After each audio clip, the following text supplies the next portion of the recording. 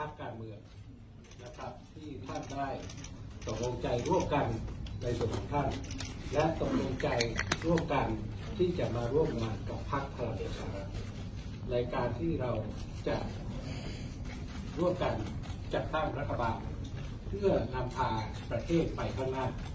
จากจุดนี้นะครับที่ผมและทุกท่านก็คงเห็นตรงกันว่าพี่น้องประชาชนคนไทยกำลังรอ ว่าประเทศไทยของเรานั้น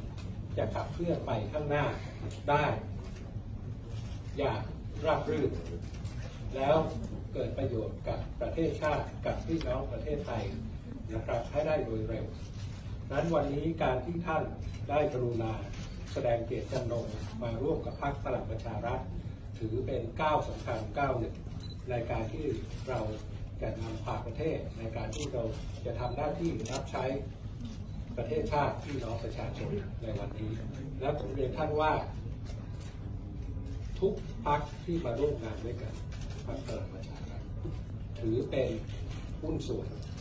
ด้วยกันทั้งนั้นนะครับเพราะฉะนั้นเราจะทำงานร่วมกันมีอะไรเราปรึกษากัน เราแนะนำเราท้วงติงกันได้นะครับพรรคพลังประชารัฐเป็นพรรคที่เกิดใหม่ เรามีสมาชิก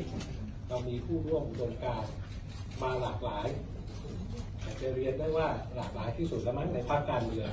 วันนี้ได้มีโอกาสจะมีโอกาสได้ทำงานร่วมกับท่านนะครับ ก็ถือว่าเป็นจุดเด่นอีกจุดหนึ่งที่พวกเราจะมาร่วมกันทำงานนะครับ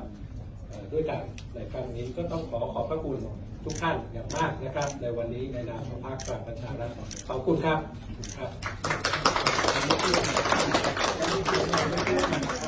จับมือหน่อยนะ